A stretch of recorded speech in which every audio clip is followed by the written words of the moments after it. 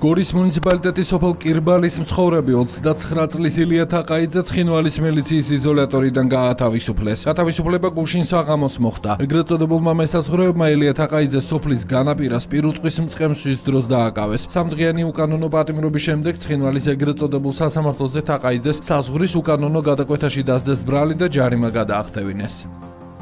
ტყეში ვიყავი, ხმელი შეშაზე ვიყა შესული, ავაგროვე, ოდიოდი სახში.